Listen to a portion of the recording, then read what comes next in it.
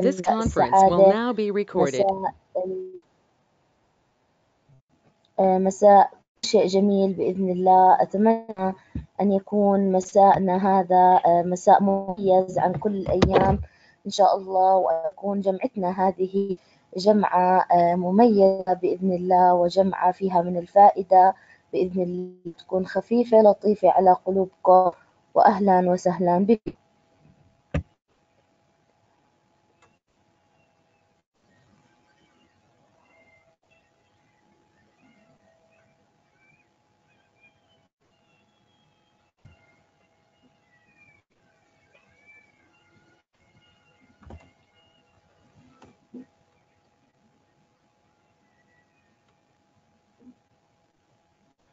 بداية آه، أرحب بكل المستمعين اللي معانا بكل شخص آه، موجود معانا اليوم. بحب فيه وبحكي له وإن شاء الله يكون آه، وجودك معنا اليوم لك وليس عليك. وثانيا أكاديمية قطوف على هذه المبادرة وبحب أشكرها على حرصها المتدربين وتقديم كل ما ينفع كل ما خلينا نحكي كل ما يساعدهم على اختيار الأفضل. فهاي جدا رائعة منهم إنه آه، بيعملوا جلسة تعريفية قبل الدورة بأشخاص دورة وكيف أنا ممكن أستفيد منها وشو هي الدورة أصلا. فكل الشكر لكل والمشرفين وكل الأشخاص ونسقوا معي حتى نكون إن شاء الله.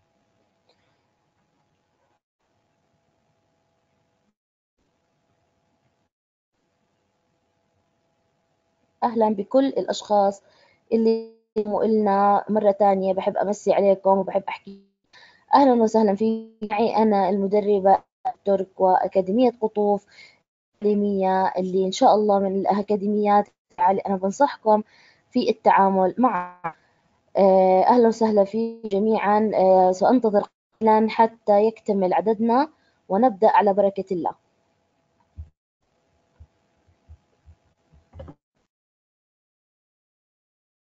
معي This conference will now be recorded.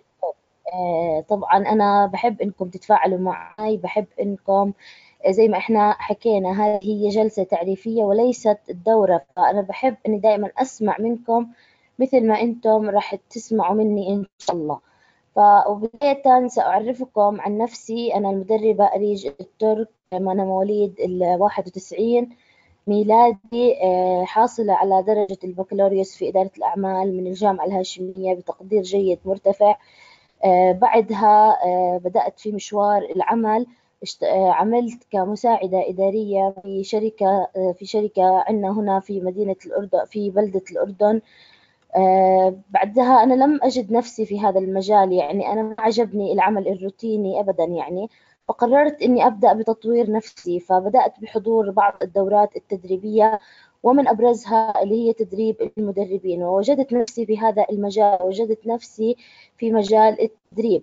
ومن ثم بدأت طبعا مشواري التدريبي في عدة دورات وورشات عمل آه، تطوعية جعلتني أنا مدربة محلية معتمدة من وزارة العمل الأردنية من وزارة التربية الأردنية ومن نقابة المعلمين وعدة أكاديميات آه، وعدة هيئات وجمعيات خيرية في مدينة الأردن وبالذات منطقتي مادبة. وأيضا أنا مدربة دولية معتمدة باعتماد المركز الثقافي البريطاني ومركز التطوير الأكاديمي. وأيضا آه، مثل ما أنتم شايفين أمامكم على الشريحة هي هيك نبذة بسيطة عني آه، فأنا إن شاء الله يعني دائما بحب أحكي القصة اللي أنا بدأت فيها في مجال التدريب لأي شخص حتى تكون حافز له إني أنا كنت في مجال عمل إداري أتقاضى راتب شهري كل شهر لكن أنا هذا الشيء لم يعجبني ولم أجده أبدا في شخصيتي أي تطوير. يعني أنا عملت لديهم سنة كاملة. في بداية السنة وفي نهاية السنة لم أطور أي شيء عن نفسي بينما في مجال التدريب كل يوم عن يوم أنا أفضل وكل يوم عن يوم أنا بتعلم أفضل. فدائما أعزائي ما تحكي إني أنا ما بقدر أنا ما بستطيع. كلياتنا عندنا القدرة وعندنا الاستطاعة لكن إحنا بنخاف أو بنفشل أو بنحيط نفسنا بكلمات سلبية. فدائما أنا بحب إنكم تتفاعلوا معي آه، تسألوا أي سؤال أنتم بترغبوا حتى إن شاء الله توصل جلستنا لمبتغاها.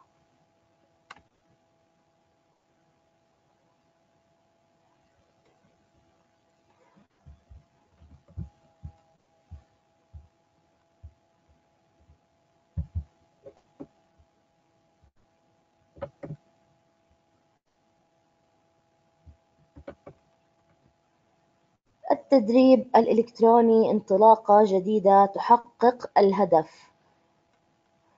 ماذا ترى في الصورة؟ يلا. أستقبل مشاركاتكم أعزائي. نبدأ في التمرين. سويا. ماذا ترى في الصورة؟ طبعا أي شخص بيجاوب دائما يعرفنا عن اسمه ووظيفته عمله. غير واضحة بجوز لأني أنا كبرتها لو أصغرها شوي مثلا بهذا الشكل. هل هي أوضح مثلا الآن؟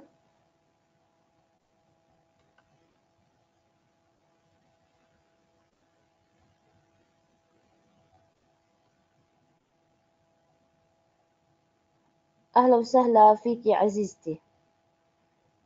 تمام إحنا لم نبدأ بشيء أبدا يعني بدأنا الآن فلم يذهب عليك شيء عزيزتي.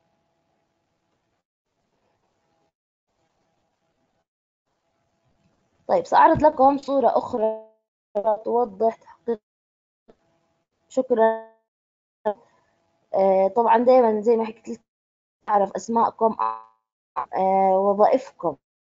شو بتعملوا في الحياة؟ نتعرف تكون إن شاء الله آه، جلستنا جلسة تعارف المعرفة.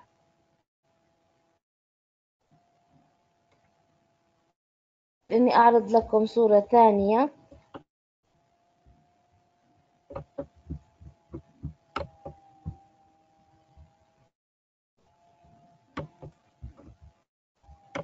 هذه الصورة ماذا ترى فيها؟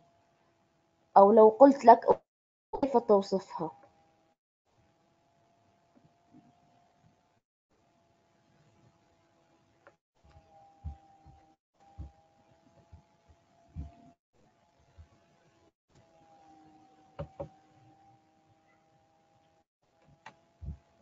قناة نافذة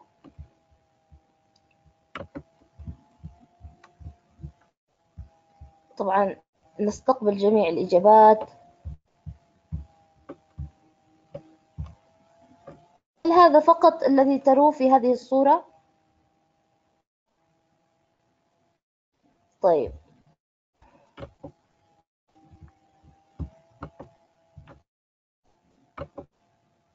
هذه الآن هل هي هل ظهرت؟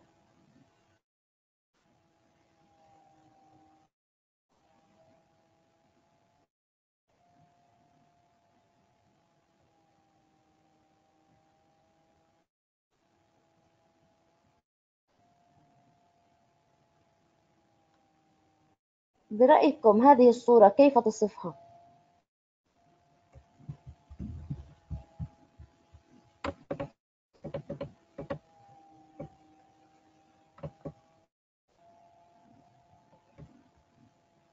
جد أتمنى إني أنا قرأت اسمك صحيح. أهلا وسهلا فيك.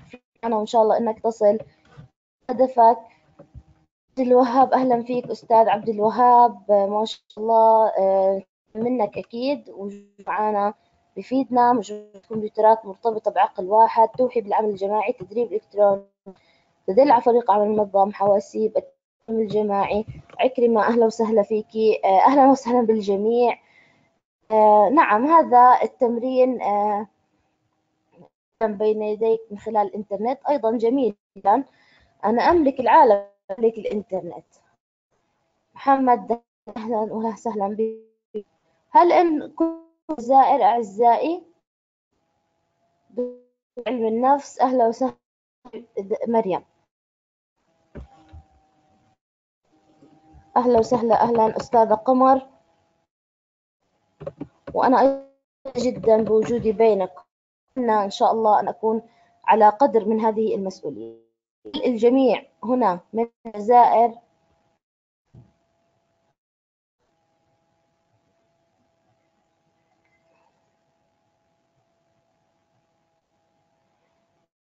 بكم. من أين ما كنتم؟ من أين ما تسمعونني؟ أهلا وسهلا بكم. عرضت لكم أنا صورتين. طبعا جلستنا التعريفية فيك هبة من العراق ومن الجميع. أتمنى إن شاء الله لهجتي واضحة آه، مفهومة بالنسبة لكم إخواني في الجزائر أو دولة الجزائر الحبيبة. أتمنى أن تكون اللهجة واضحة بالنسبة لكم. لا هذا الشيء اللي أنا أطلبه و آه، أهلا وسهلا فيكم. نبدأ إن شاء الله الآن جلستنا التعريفية. عملنا تمرين تعارف خلينا نحكي السريع اللي عملناه وإن شاء الله إذا سجلت دورة رح نتعرف على بعض أكثر وأكثر إن شاء الله. والنعم منكم يا أهل الجزائر جميعا. طيب زي ما حكينا إحنا عرضنا عدة صور ومن هذه الصور خلينا نحكي كانت بالنسبة لكم إنه هي الإنترنت يعني كل شيء أو الإنترنت مصدر للمعلومة فعليا هو الإنترنت أن العالم بين يديك وأصبح العالم قرية صغيرة بدلا من أن كان عالم كبيرة جدا. لكن في أنت أنا أربط أربط كل اللي أنتم حكيتوها الآن في موضوع الدورة وهو التدريب الإلكتروني. كثيرا عن هذه الكلمة لكن ما عمرنا خطرنا في بالنا أنه يكون الإلكتروني بالنسبة إلي مشروع ناجح جدا ومشروع عن العمل ومشروع نحكي يغنيني أبدا عن كل شيء ممكن إنه أكون أو يخليني كل هدف أنا كنت أتمنى. أولا أولا أعزائي سنتعرف على مفهوم ما هو مفهوم التدريب برأيكم؟ عادي يعني التدريب نسمعها لما نروح نسجل فيها طبعا إني أنا مدربة حضورية آه، في أديسون في الأردن وأيضا أنا مدربة أكثر من أكاديمية في منطقتي فأنا أمارس التدريب الحضوري وأيضا الإلكتروني. وهذا الشيء اللي جعل أقدم هذه الدورة وأنا مطمئنة بحيث إني أنا سأوصل للطلاب كل شيء بخص التدريب من الجهتين. نرجع لموضوعنا ما هو التدريب وحساب مهارات وتطويرها؟ صحيح أخ محمد شكرا لك. فعلا أنا بالتعليم لكن أنا لا أكتسب المهارة. فعلا أنا أكتسب المهارة في التدريب. وأول من التدريب على وجه الكرة الأرضية مين؟ مين عنده فكرة؟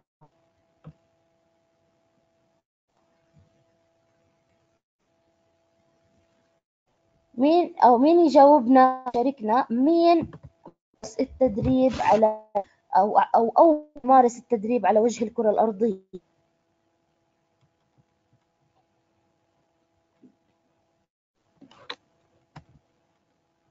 الأمريكان للأسف. آدم عليه السلام. الله أعلم. ابن آدم.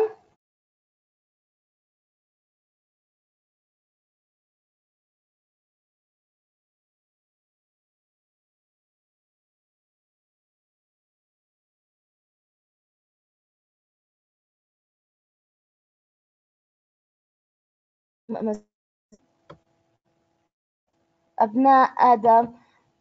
صحيح. صحيح يا أخي. آه، فعلا جواب صحيح.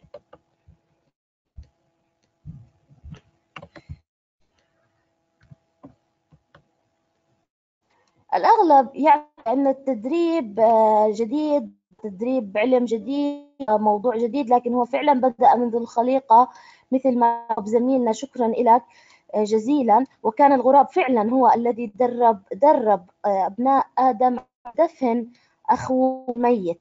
فالتدريب هو نشاط عملي. أنا بدي منه اكتساب مهارة واكتساب معلومات جديدة أنا ما كانت موجودة عندي. فالتدريب إحنا نمارسه بشكل يومي. فالأم تدرب أبنائها على عمل البيت الأب يدرب أبنائه على العمل خارج البيت وأنا أدرب طلابي والطلاب يدربون إخوانهم. إحنا التدريب شيء بنمارسه بشكل يومي بدون أن نعرف إنه إحنا بنمارس التدريب. لكن طبعا مع تطور الحياة وتطور العلم أصبحت الدورات جزء جدا من كل شخص. فالطالب أول ما يتخرج من الجامعة يبحث عن الدورات التي تدعمه وتدعم السيرة الذاتية آه، عنده. صحيح. طيب أصبحت التجارة إلكترونية. صحيح ولا لا؟ يعني أنا ممكن الآن أوصي عن أي شيء أنا أرغبه عن طريق الإنترنت. حتى لقاءاتنا أصبحت إلكترونية. يعني صرنا ممكن إنه أنا وأصدقائي وعائلتي ألتقي فيهم أنا على جروب عبر الواتساب ونتبادل الأحاديث ونتبادل الصور ويكون أحلى ما يكون. ممكن. حتى في جلساتنا العائلية يعني أنا الآن بس جالسة مع أهلي كل واحد بيكون جالس وموبايله وتليفون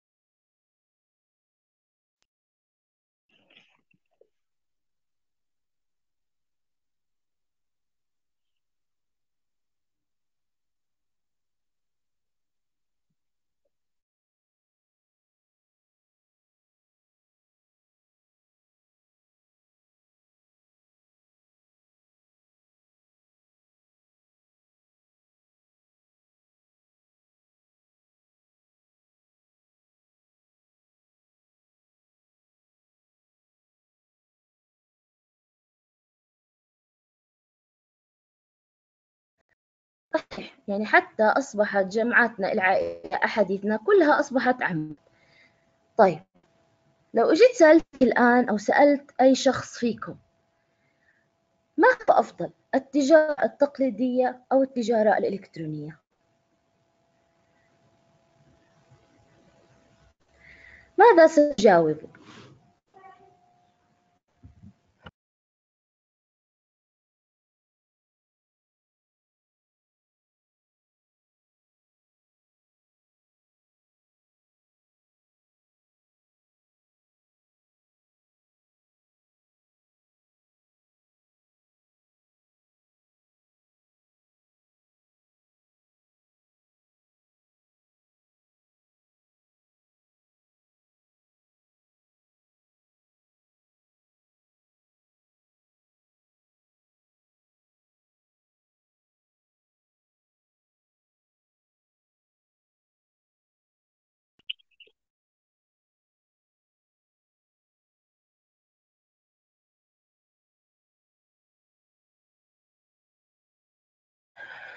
بعضكم قال كلاهما بعضكم قال التجارة الإلكترونية أفضل بعضكم قال التجارة التقليدية أفضل.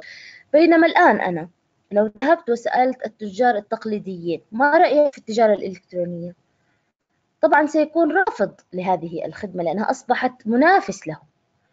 ولو ذهبت التجارة الإلكترونية وسألتهم عن التجارة التقليدية سيقولون لي أن التجارة التقليدية أصبحت قديمة. بينما لغاية الآن الآن في أشخاص لا يؤمنون أبدا بموضوع التجارة الإلكترونية. مستحيل أن يشتري شيء أونلاين أو مستحيل أن يقوم بشراء شيء عبر الإنترنت. مهما الناس فتحت له مهما الناس قالت له أنه هذا الشيء ممتاز. إذا لكل الموضوع أو النقطة اللي أنا حابة أصل إلها لكل نوع إيجابياته وسلبياته التي تجعل ناس معينين يستخدموا وناس ما يستخدموا أبدا. وكذلك موضوع التدريب. فالتدريب التقليدي لا غنى عنه أبدا. لكنه لا يعني أن التدريب الإلكتروني غير صحيح وغير جيد وغير غير صادق مثل ما الكل بيعتقد. صحيح أحسنت. ممكن إنهم يكون جربوا هاي الخدمة مرة واحدة ما وجدوا الثقة فأصبح عنده ردة فعل عكسية مثل ما يصير مع أغلب المتدربين اللي بيجربوا دورات الأونلاين بصير معاهم مثلا عدم مصداقية فبياخذ فكرة سيئة عن هذا النظام.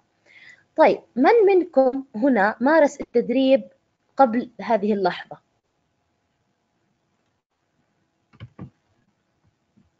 يعني مارس التدريب حضوريا أو أونلاين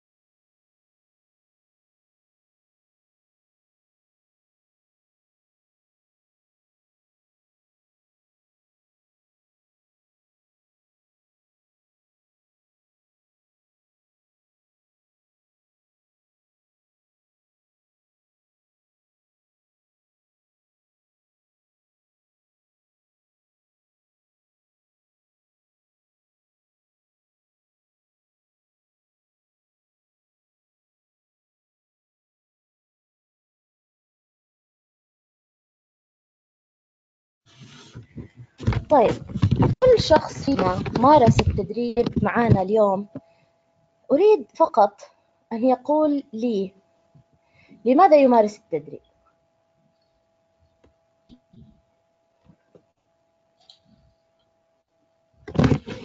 إن شاء الله إنك بتشتغلي على نفسك أخت مريم وبتصير شهاداتك احترافية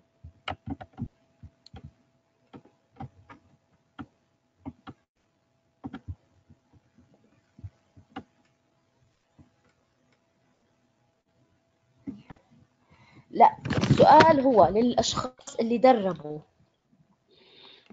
لماذا تدرب؟ لأنفع الناس وأحقق السلام الداخلي. جميل جدا. أكيد إن شاء الله. مشاركة التجارب والخبرات. جميل. أيضا الأشخاص اللي دربوا.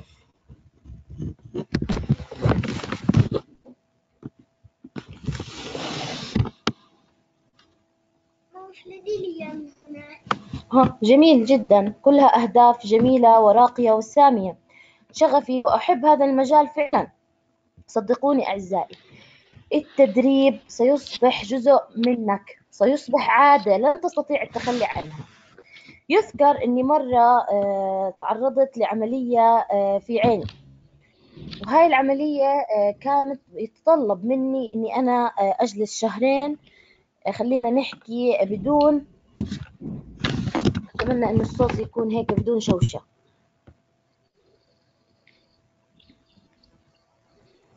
أكملي أستاذ أكملي. تمام. آه، جلست شهرين الدكتور أوصى لي والمستشفى أوصت لي أني أجلس شهرين بدون ما أخرج بدون ما أتعرض لأي ضوء بدون ما أتعرض لأي شيء ممكن أنه يأثر على هذه العملية. يعني ممكن انكم ما تصدقوني فعليا لكن أنا آه، شعرت بتعب شديد جدا جدا جدا. ليس بتعب جسدي بل تعب نفسي لأني أنا تعودت على أني أدرب. ولما جلست شهرين بدون ما أذهب وأقابل أي من المتدربين وأتحدث معاهم وخلينا نحكي وحفزهم عن جد شعرت بتعب وحزن شديد جدا. لدرجة أني أنا آه، خرجت قبل الشهرين وبدأت أني أحضر دورة. سجلت في دورة تدريبية كمتدربة ولست مدربة حتى فقط أني أعيش جو التدريب. لو أني أنا مو قادرة أني أنا أدرب.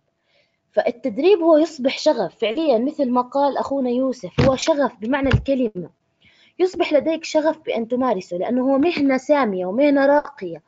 تنقلك من إنسان عادي إلى إنسان مثقف إنسان واعي إنسان تشعر بالآخرين إنسان عندك مسؤولية تجاه الآخرين. أنا دوراتي اللي أدربها في المركز هي دورات الحاسب الآلي ودورات الحاسب الآلي يعني ما إلها في الشخصية ولا إلها في التحفيز ولا إلها في الكلام.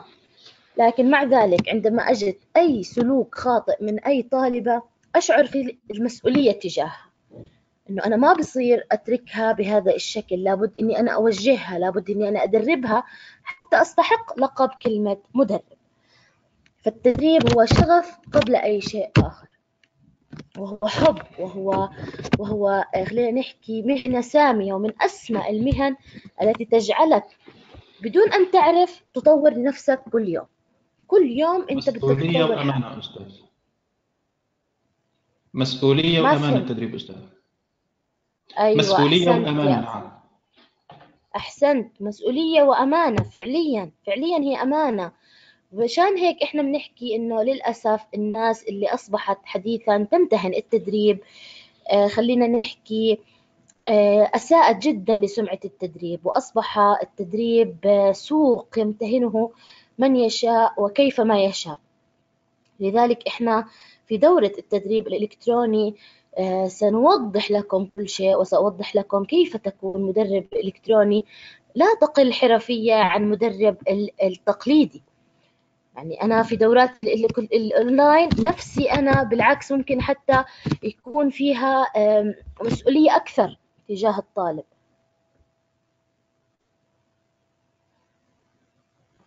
لأني أنا راح أشعر تجاهه بمسؤولية إنه هو سجل وآمن ووثق فبالتالي أنا لابد إني أقدم كل شيء هو بيحتاجه. طيب ذكرنا التدريب وذكرنا آه، ليش إحنا بندرب أو شو سبب التدريب. في جزئية بسيطة ممكن مش كلكم ذكرتوها لكن ذكرها زميل أو زميلة معانا اليوم وهي إنه أنا أدرب باخذ منها مال باخذ منها ممكن عائد بيعيشني وبيعيش عيلتي وهذا الإشي ليس عيب وليس حرام.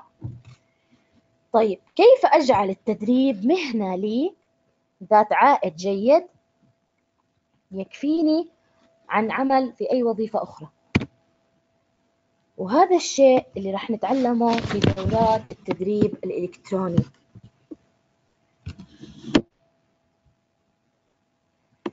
للأسف أخت مريم إنها منتشرة كثيرا.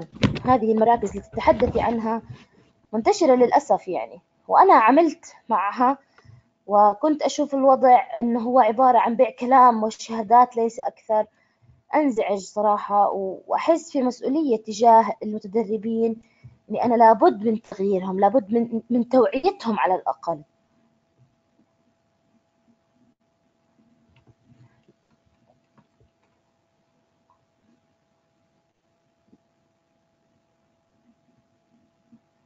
طيب كلياتنا نعرف إنه التدريب الإلكتروني هي دورات عن بعد نعرف هاي المعلومة لكن ما هي أنواع التدريب الإلكتروني؟ وهل في شروط محددة لابد إنها تكون موجودة في, في هذا الشخص أو في هذا الشيء حتى يعتبر إنه هو تدريب إلكتروني؟ هل كل الدورات تنفع تنفع أن تعطى أونلاين؟ هل التدريب الإلكتروني يغنيني عن التدريب التقليدي؟ فعليا ومصداقية أعزائي أنا كمدربة كمدربة أجد نفسي في التدريب التقليدي أبدع أكثر أقدم أكثر أتفاعل مع الطلاب أكثر وهذا الشيء مش لأنه أنا آه، لا أرغب في التفاعل مع طلاب الأونلاين لكن أنا آه، أي شخص لما أنت تكون جالس معه غير عن لما يكون تفصلك بينه وبين آه، شاشة. أنواعه المتزامن وغير متزامن مباشر مسجل مختلط. طيب خلينا نشوف إن شاء الله الآن أنواع هذا التدريب ونتحدث عنها.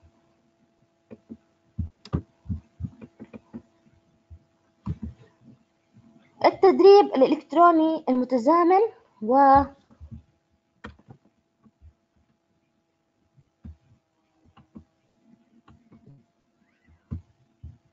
والغير المتزامن.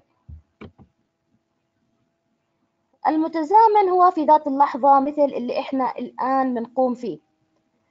إحنا نقوم الآن في دورة متزامنة أنا موجودة مباشرة أنتم موجودين مباشرة. منه البث الإذاعي والتلفزيون. يعني هنالك بعض آه، خلينا نحكي بعض الأساتذة لديهم قنوات على التلفزيون بيشرحوا فيها المواد وبيشرحوا فيها المعلومات للطلاب المنتديات. ما أكثرها وما أوسع انتشارها. دردشة النص مثل الدورات اللي عبر الواتساب وأنا بشعر دائما إنه دردشة النص هي الدورات اللي بتزبط عليها. هي الدورات اللي خلينا نحكي نظرية يعني ما فيها جزء عملي مثل دورات تدريب المدربين أو مثل الشخصية تطوير الشخصية. يعني ممكن ينفع عليها السكرتارية ينفع عليها إدارة كتابة التقارير ممكن ينفع عليها مثلا التسويق. الأمور اللي لا تحتاج إلى آه، شيء عملي.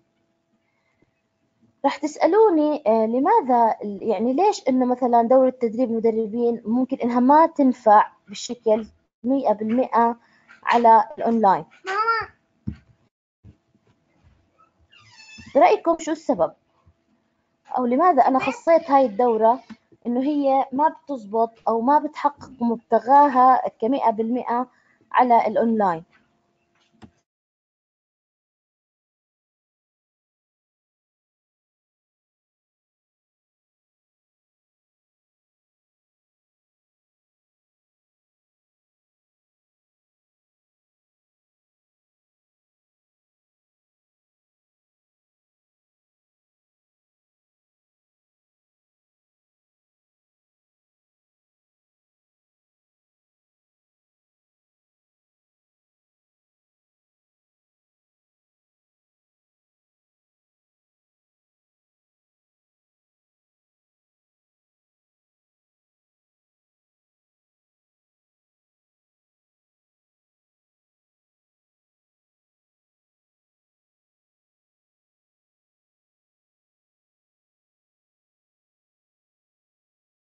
هذا من فضلك أعيد السؤال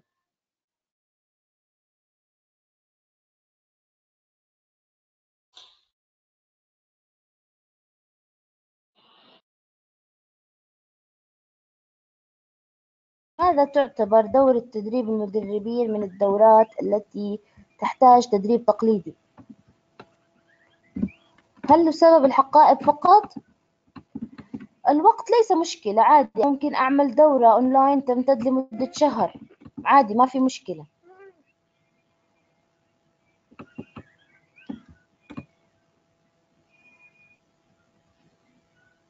تعتمد على خلينا نحكي على لغة الجسد. ممكن. سبب. انعدام لشيء مهم في التدريب وهو لغة الجسد. أكيد أحسن لا يكون اتصال مباشر وكامل صحيح.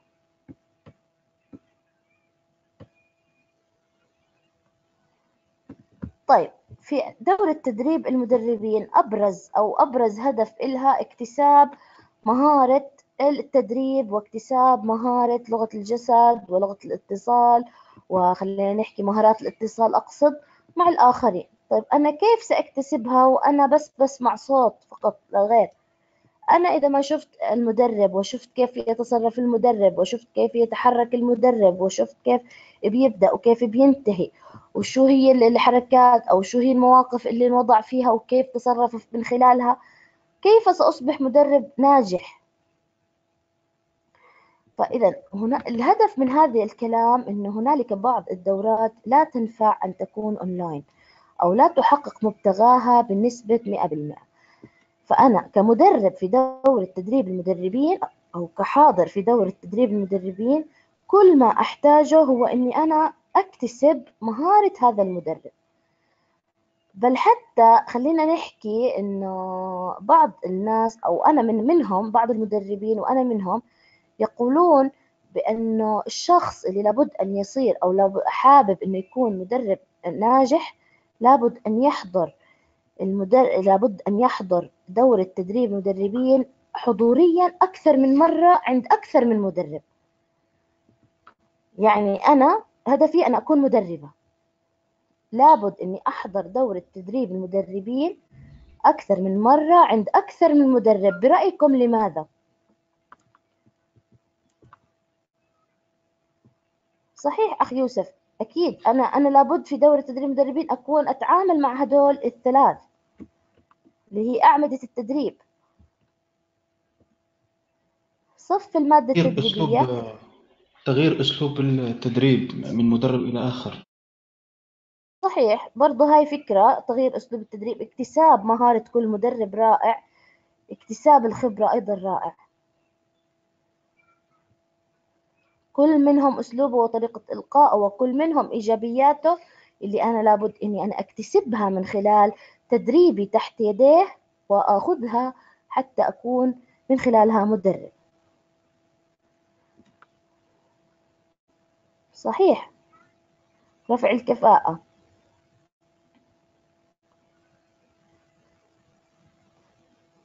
ما توقفنا اللي بده يشارك عبر المايك ما عندنا مشكلة. لما أكون أنا شخص آه، حاضر عند أكثر من مدرب وأشاهد وأتابع أكثر من أسلوب هذا الشيء خلينا نحكي راح يعطيني أكثر من مهارة وأكثر من خبرة وأكثر من من تصرف حتى إني أنا أكون قادر على التعامل في حال إن وضعت في مكان هذا المدرب.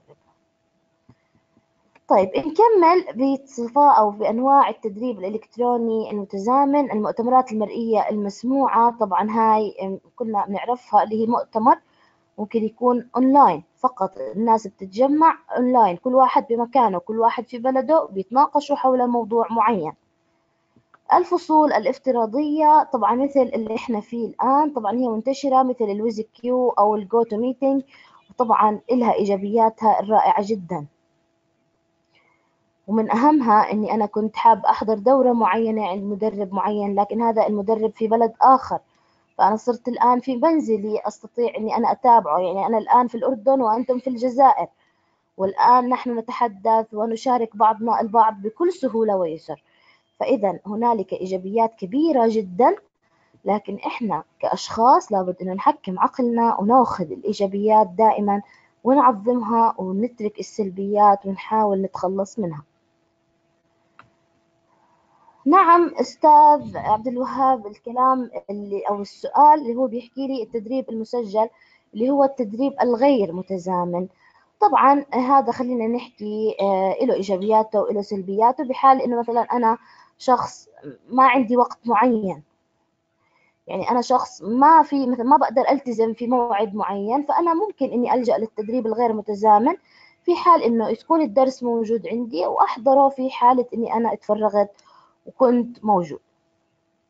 لكن أنا دائما بشجع التدريب المتزامن حتى يكون في تفاعل والتفاعل هو جزء مهم جدا بين المدرب والمتدرب.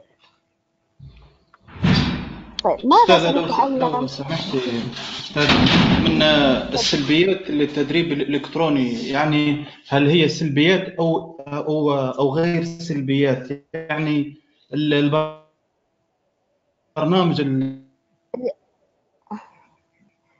ما هي سلبيات التدريب الإلكتروني؟ هذا هو سؤالك. هو بر... هو برنامج مدفوع يعني وغير مجاني هذا البرنامج. صح اللي هو الجوتو نعم نعم. أكيد طبعا. هي هي قاعة تؤجر مثلها مثل أي قاعة حضورية.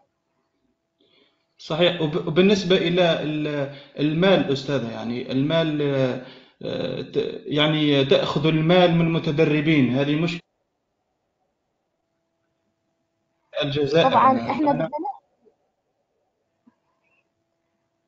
فهمت أنا قصدك فهمت قصدك إنك أنت بت... يعني أنت بتتحدث إنه هاي الفصول الافتراضية هي مدفوعة ليست مجانية. طبعا أكيد هي مدفوعة وتؤجر وقد تصل إيجارها يعني آه، إلى مبالغ شوي يعني مرتفعة. فهذا الإشي ممكن إنه يعطينا بعض عشان هيك بتتفاوت أسعار الدورات. يعني الدورات اللي عبر برنامج الواتساب بتختلف أسعارها عن البرنامج اللي بتي... عن الدورات اللي بتكون على ال WizIQ أو ال GoToMeeting. أتمنى أن تكون وصلت الصورة.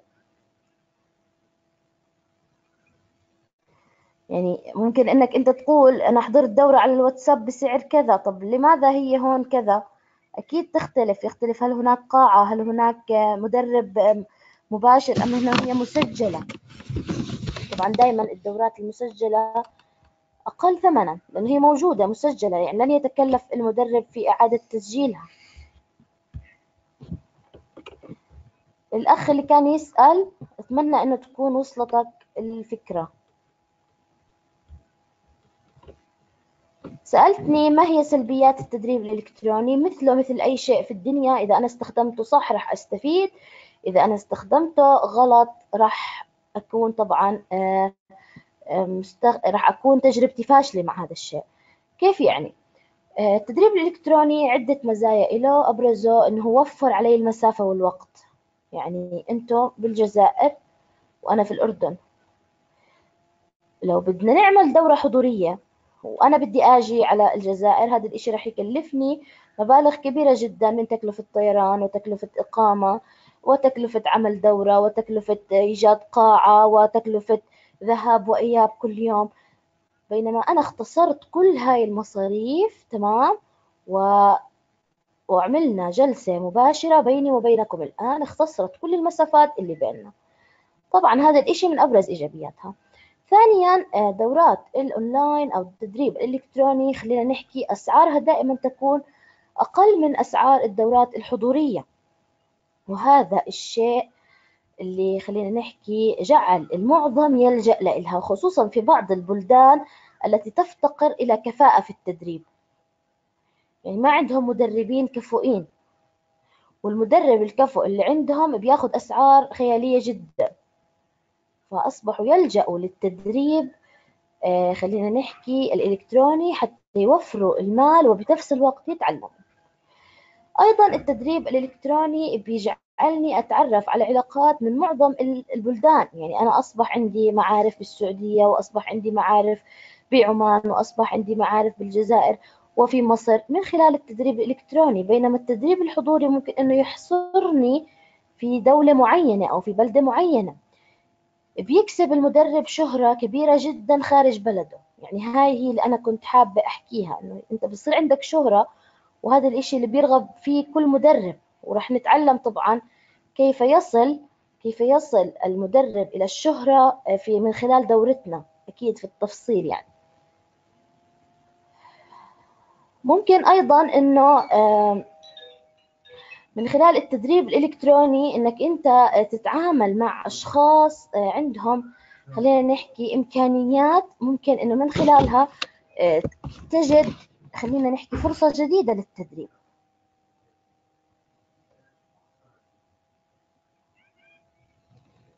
هذا بالإضافة إلى المعلومات والخبرات والمهارات اللي أنت راح تكتسبها.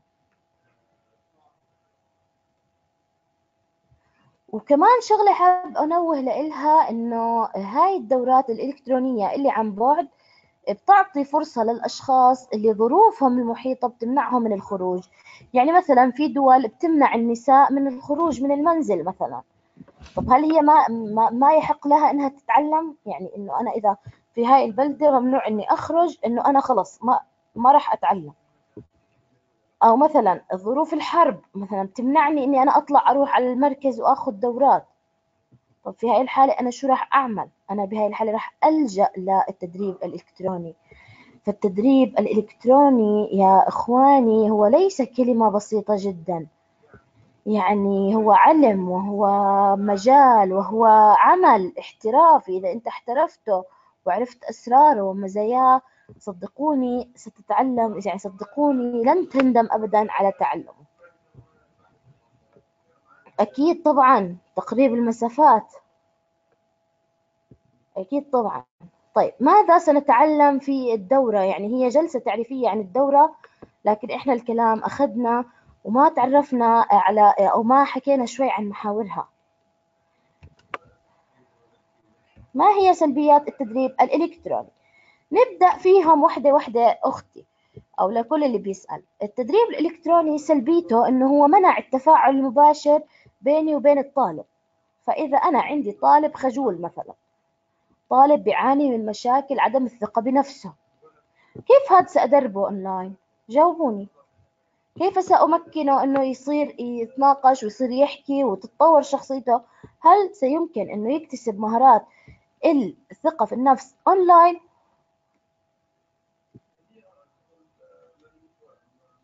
أكيد صعب يعني مستحيل حتى إني أنا شخص طالب عندي خجول أو منكسر أو عنده عدم ثقة في نفسه أدربه ليصبح شخصية أخرى إلكترونيا. هذا شيء يعني بده شغل وتعب كبير جدا.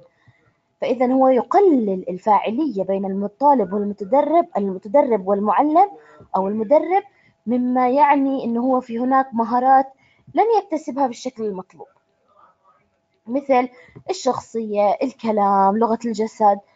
طيب أنا شخص ناجح جدا في عملي ناجح جدا في آه، شهاداتي معي شهادات آه، دكتوراه وماستر و و و و لكن أنا عندي خلل في الاتصال مع الآخرين.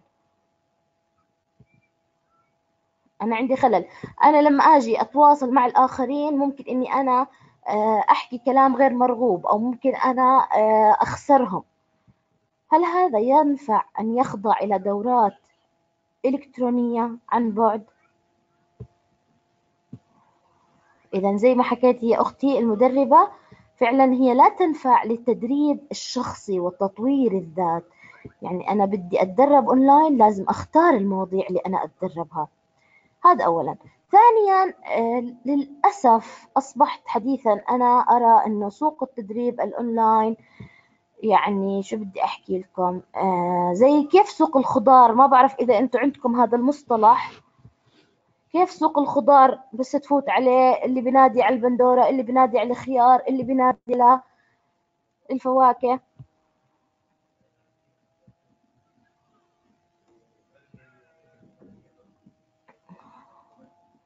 هل عندكم هذا المصطلح مصطلح سوق الخضرة أو سوق الخضار؟ نفس الفكرة يعني نفس الفكرة. أنا أصبحت الآن أجد أنه هو أصبح زي كيف سوق والناس تتهافت للبيع. وتجد تجد الأشخاص كل من هب ودب يعني ممكن أنه هو يكون حتى مش منذ دراسته الجامعية ويبدأ في عمل الدورات. أكيد أحسنتي هو تجاري لأنه هدفه التجارة فقط هو ليس هو آخر أهدافه إنه الناس تستفيد. ولكن يفسد سمعة تفضل أخي. سمعة التدريب. طبعا إحنا هذا اللي بنحكيه إنه هو من السلبيات مشان هيك أنا بحكي إنه هو من السلبيات. ممتاز. أخ سنوسي قوته في المادة العلمية والصوت أيضا من سلبيات التدريب الإلكتروني إنه يكون هذا المدرب ما يمتلك يعني أي مهارة تجذب الناس لإله. يعني هو آه يعني هو هو قوته في إنه يكون موجود. إذا غاب ستغيب قوته. فبالتالي أنا سأخسر الطلاب. وكثير مدربين ناجحين حضوريا غير ناجحين إلكترونيا. بينما في شغلة أنا حابة أحكيها وأنوه لإلها إنه التدريب الإلكتروني أعطى فرصة لكثير من السيدات أن يمارسوا عمل التدريب بعد أن كان بالنسبة لهم ممنوع أو خلينا نحكي آه، محرم عليهم في آه، بسبب العادات في منطقتهم.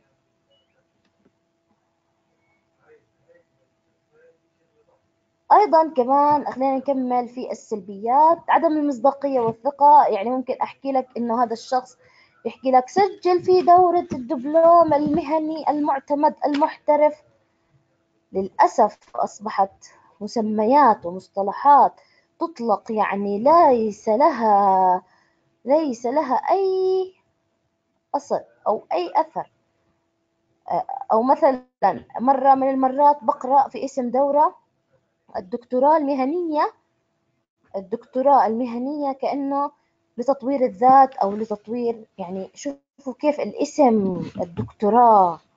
يعني الطالب ينهي الجامعة ويدخل إلى إلى الماستر وثم يقدم رسالة الماستر وبعد الماستر يدخل إلى الدكتوراه حتى يصل إلى كلمة دكتور وأنت ستعطيه إياها في دورة واحدة فقط.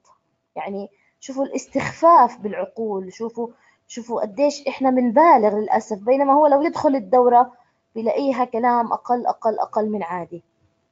فهي أصبحت بيع كلام وبيع مصطلحات ليس أكثر. أو مثلا الماجستير مثل ما حكى أخ عبد الوهاب الماجستير العلمي أو الماجستير التدريبي أو يعني بتشعر إنه أنت ما في داعي تدخل جامعة ما في داعي إنك لا أنت في دورة ستعطيني هذا الكلام آه لا هون في أو المدرب الدولي المعتمد أو المايسترو في التدريب أصبحت مصطلحات تجذب الناس اللي ما عندها علم وبالتالي تعرضهم لأن يكونوا آه عرضة للنصب والاحتيال. فبالتالي أعزائي قبل أن ندخل أي دورة تدريبية أونلاين لابد أن نسأل عن المدرب لابد أن نسأل عن الأهداف لابد أن أسأل عن اعتماد الشهادة ولابد أن أسأل عن يعني برضو كمان أنا لابد أني أنا أحط خلينا نحكي آه العقل يعني العقل معقول. أنا في دورة 30 ساعة سأكتسب كلمة الدكتوراه وين عقلك؟ وين عقلك؟ هي أسلوب ماركتينج أكيد هي أسلوب للتسويق أكيد حتى يجذب الناس لإله طيب في كمان مرة من المرات آه، أو مثلا آه، مركز الكامبريدج الدولي أو مركز التطوير الأمريكي أو مركز كلها أسماء تجارية لا تمت للاعتمادات بصلة فأعزائي أرجوكم قبل أن تدخلوا أي دورة تدريبية اسألوا تماما عن المدرب عن الفائدة التي ستأخذونها. هل هي تتوافق مدة مدة الدورة خمس اسمها الماجستير. خمس ساعات. ماجستير هنا سيصعب الاستغلال. سنتعلم. أكيد إن شاء الله أبدأ التدريب الإلكتروني. كيف يكون التدريب مصدر دخل مادي. آه، كيف أنجح فيه؟ كيف أبني إلي قاعدة جماهيرية؟ يكون عندي آه، أسس من خلالها كيف أجمع كيف أختار الموضوع أسوق الموضوع كيف أبدأ في التدريب كيف أكون شخص ناجح كل الأمور راح نتعلمها في دورتنا. فبالتالي أنا برجعكم على الانضمام إلها بما فيها من فائدة وعن تجربة شخصية. يعني أنا كنت شخص ما عندي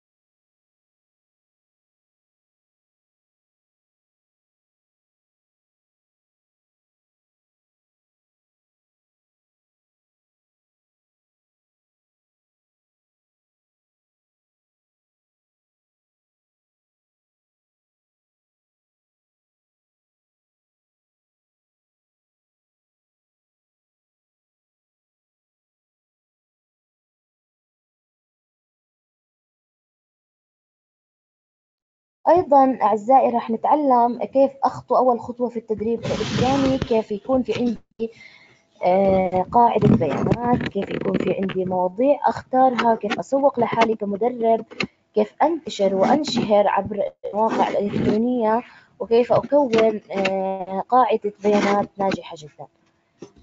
فإن شاء الله أتمنى إني أنا ألاقيكم في الدورة إن شاء الله اللي راح تكون طبعا موسعة أكثر ومكثفة أكثر. ودائما أنا بحب أحكي للطلاب وأفتخر في هذا الشيء إنه أنا كنت شخص لا أعلم عن التدريب الإلكتروني أي شيء ولا أعلم إنه أصلا في هناك شيء اسمه تدريب إلكتروني.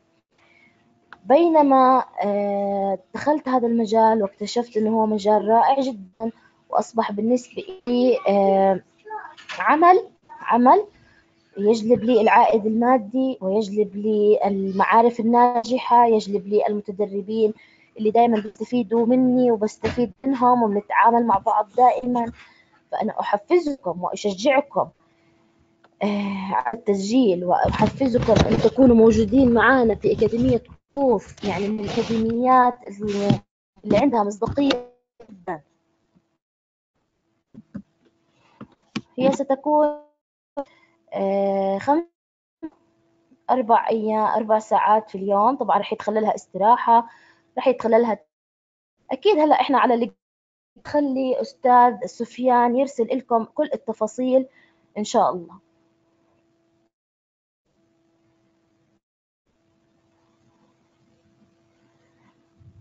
أيضا الإلكتروني آه، تلاعب فيه شخصية المدرب يعني دور كبير جدا في إنك تكون ناجح.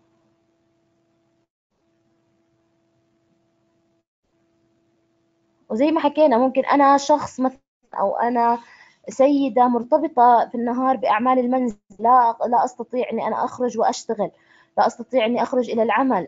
ليش ما أنا أمتهن الإلكتروني بكفي إنه هو بيعطيني فرصة إني أنا أختار الوقت بدي إياه. لا أكيد لا طبعا. ما راح تكون متواصلة هناك بريكات وهناك تدريب.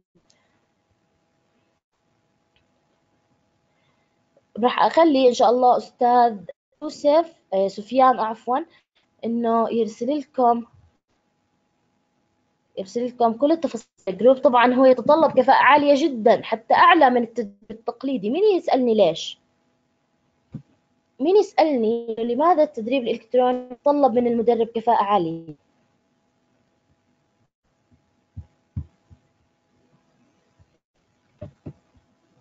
أو مين يخبرنا لماذا؟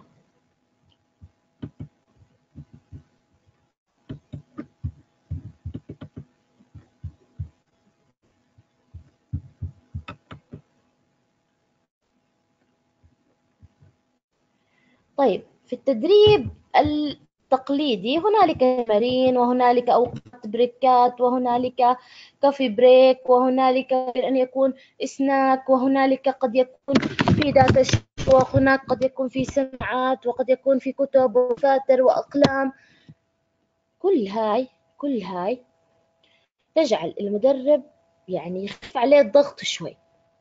فأحيانا تجده يطلب منهم عمل تمرين أو يحضر فيديو مثلا معهم أو يخرجون لعمل بريك. بينما في التدريب الإلكتروني كل الضغط عليك أنت كمدرب كمدرب. المدرب الإلكتروني كل ما يملكه هو صوته والمادة العلمية فقط. فشوفوا كيف هو يتطلب كفاءة عالية في ترتيب المواضيع في أسلوب الطرح يتطلب كفاءة عالية في تسلسل المواضيع. كيف أبدأ مع الطلاب؟ كيف أشوقهم كيف أحفزهم مثل ما أنتم شايفين في الصورة هي مقارنة ما بين التدريب التقليدي والتدريب الإلكتروني.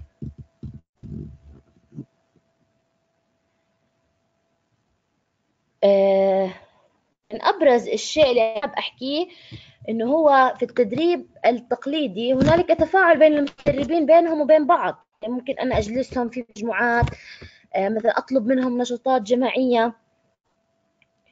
بينما في التدريب الإلكتروني ما في يعني ممكن هو كل شخص ما بيعرف الآخر فكيف أنا سأدمجهم مع بعض؟ أيضا هذا الشيء بيتطلب كفاءة عالية من المدرب.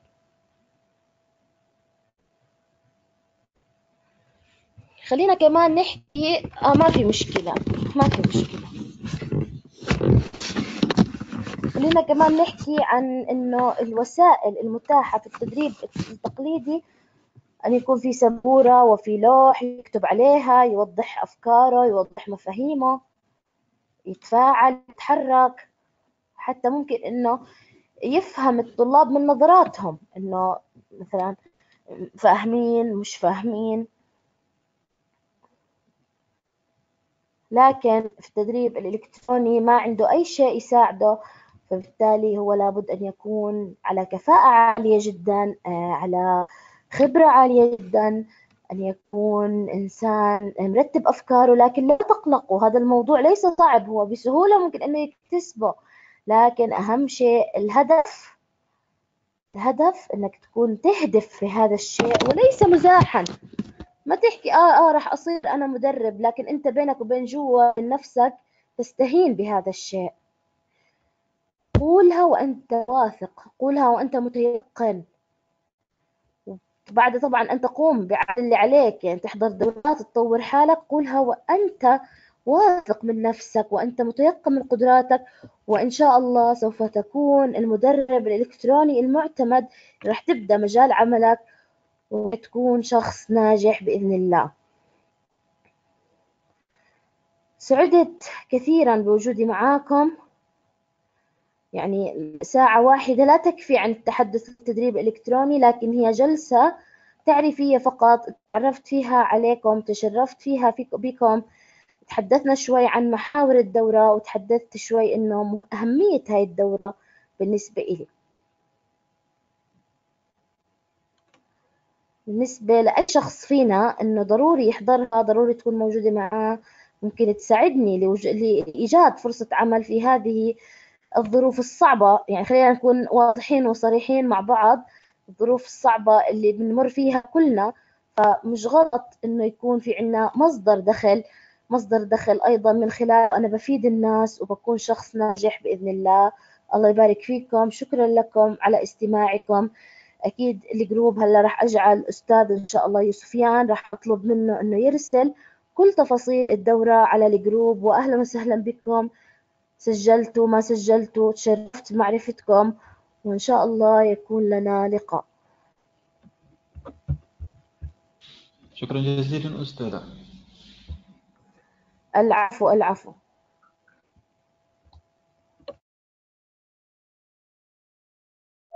هذا